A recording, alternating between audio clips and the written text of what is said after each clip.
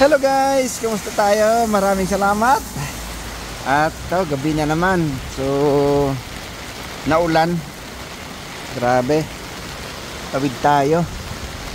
At bibili lang tayo ng makain natin. Tinatamad na kung magluto ko sa ganitong panahon. Maulan guys. O, tignan. O.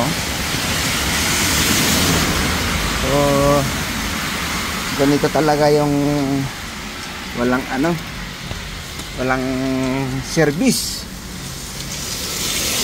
Mahal naman kasi guys pag kumuha tayo ng lisensya dito kailangan nating mag schooling kailangan mong pumasok ng isang linggo eh 16,000 po yon 3.5 yung lisensya 16,000 yung ano. Tapos yung reservation is 500 so 16.5 lahat. So magkano sa peso 'yon? 30,000. Oh, so wag na lang. Oh, dito tayo 7-Eleven. So yan. Bili lang tayo.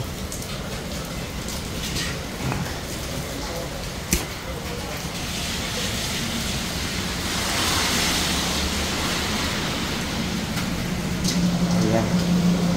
Ayan tayo, ano.